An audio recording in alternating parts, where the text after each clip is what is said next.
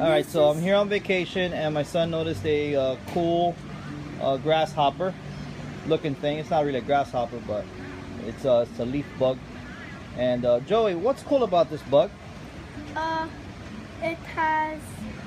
It looks like a leaf because the animals think it's. It, they think it's a leaf, but it's not. So they could stay alive. Oh, it keeps them alive because the animals thinks.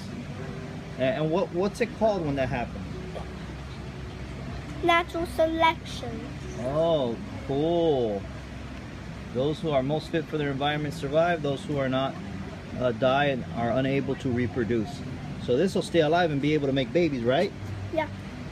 And Cool. wait, I have a good idea. What? We should put him somewhere so he could camouflage and survive.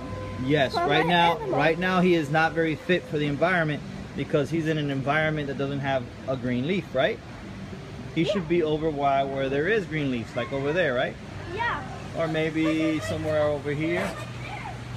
Or, yep, or right over there. Good idea.